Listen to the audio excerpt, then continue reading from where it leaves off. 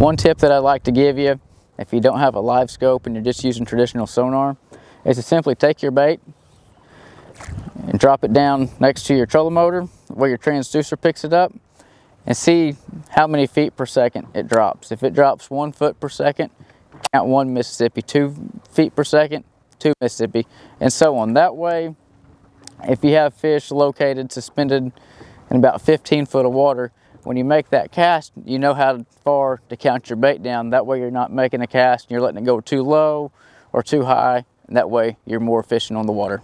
Hope this helps.